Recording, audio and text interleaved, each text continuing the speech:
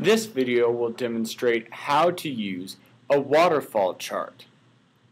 Now, a waterfall chart is essentially a bar graph that is using a sum to be able to stack the bars on top of each other as you move right in the horizontal series.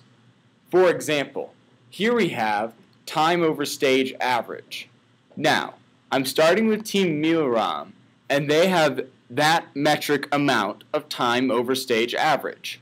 Now, as I move to the next team, I start at the value that Team Milram ended at. And the same goes as I move to Lampre. Now as I move to CSC Saxo Bank, you'll notice that they have a negative value, so this pushes the sum down. This allows you to quickly see how a sum developed in a group by breaking it down into parts.